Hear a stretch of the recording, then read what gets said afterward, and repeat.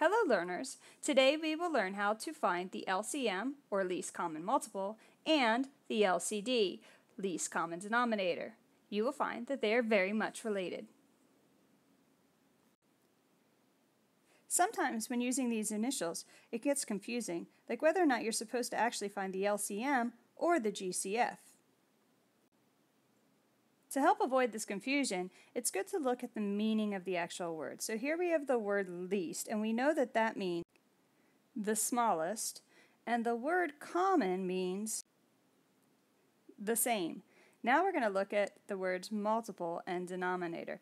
Like I said previously, the least common multiple and the least common denominator are related because you're actually finding the same information. It's just when you're looking for a multiple, you're only comparing the two numbers 2 and 5. But when you're looking at the least common denominator, you're changing the denominators. We're going to begin by finding the least common multiple of the numbers 2 and 5. And like any good mathematician, I am going to use a chart to help organize my information. Now you may remember that a multiple is what you get when you multiply a number, such as 2, by another factor. And if you want to find sequential multiples, like we do, then it's going to look a lot like skip counting. So because I'm looking for the least common multiple, I'm going to begin by multiplying 2 by the number 1 to get my first multiple of 2. And then I'm going to follow in sequence and multiply it by the factor of 2 to get my next multiple of 4. I'm going to continue until I've listed at least 5 to 10 multiples in order. See, it looks a lot like skip counting, 2, 4, 6, 8, 10. Now I'm going to move on to my next number, 5, and I'm going to do the same thing, following in sequence. And I'm going to get 5, 10, 15, 20, and 25.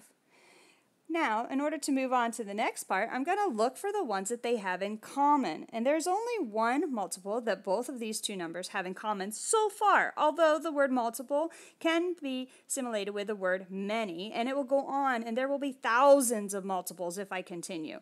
However, luckily, I'm only looking for the least common multiple. So once I identify the multiples, I can circle them. And if there are more than one, I'm going to choose the smallest one. Lucky for me, there's only one, so the least common multiple of the numbers 2 and 5 is 10. I'm going to use that same process to find the least common denominator. The only difference is I'm now talking about denominators. So if I were looking at the numbers or the fractions 1 half and 1 fifth, and I wanted to find the least common denominator, say maybe to add or subtract the fractions, then I would follow the same process, but I would only pull out or extract the 2 and the 5. See where I'm going with this? Once I've listed the multiples and I found the least one that they have in common, I have just identified the least common denominator as well.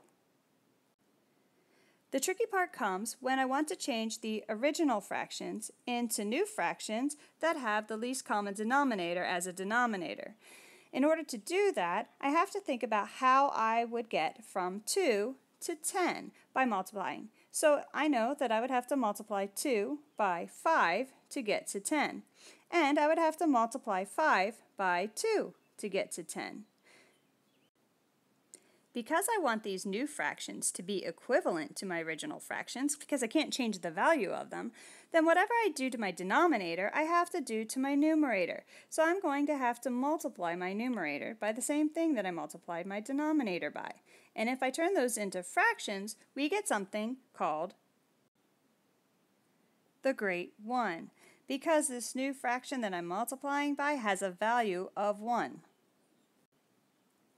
Therefore, if I multiply straight across, 1 times 5 will give me a new numerator of 5, and 1 times 2 will give me a new numerator of 2. Therefore, I now have my two new fractions. You may have noticed that the least common multiple of 2 and 5 could be found by multiplying 2 times 5.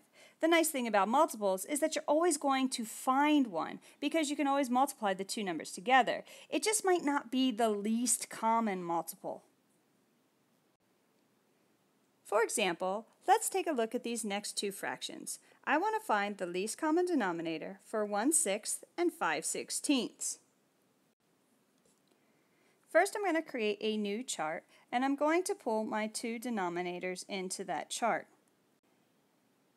And then I'm going to list the first five multiples of the number 6, which takes me out to the number 30. Then I'm going to list the first five multiples of the number 16, which takes me out to the number 80. As you can see, I don't have any common multiples yet, so I'm going to have to continue. And I would start with the smaller number because there's a big gap here between 30 and 80, so I have a lot of multiples that I could fill in. So I'm going to extend the 6 out a few more places. As I do that, you'll see the number 48 pops out, and now I have my least common denominator.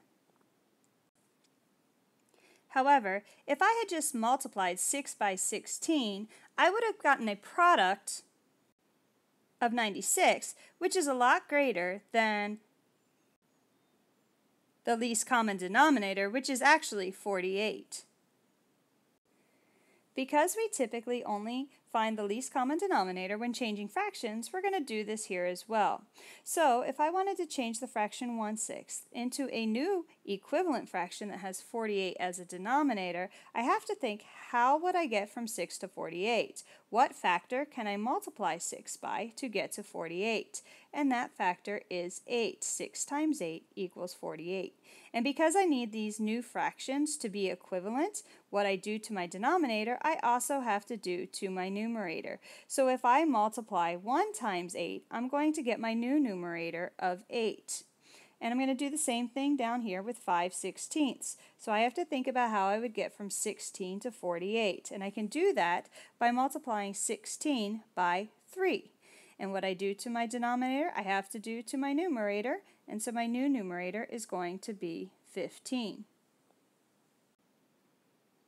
This gives me my two new equivalent fractions that are ready to be added or subtracted. Now it's time to see what you can do on your own.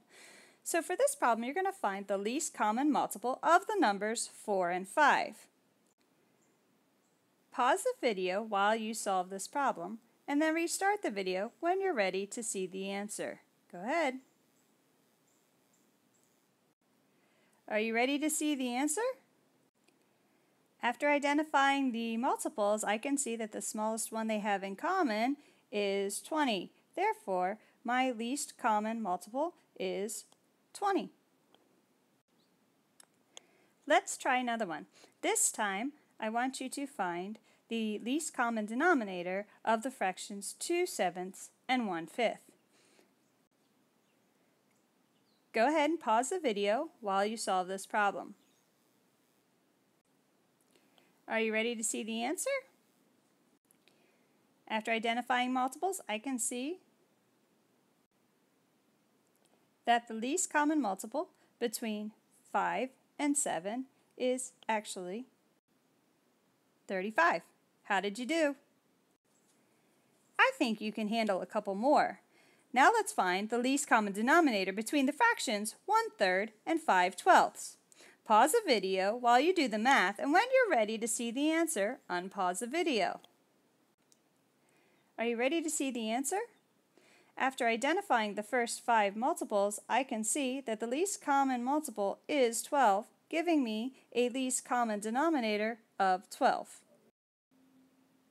Now for your last challenge, you're going to change the fraction 2 sevenths to an equivalent fraction that has 35 as the denominator. Pause the video while you do the math and then unpause the video when you're ready to see the answer. Are you ready to see the answer? Well, when I multiply 7 by 5 to get to 35, I have to do the same thing to my numerator, which is going to give me my new numerator of 10, giving me a new equivalent fraction of 10 35ths. In this video, we have learned how to find the least common multiple and the least common denominator.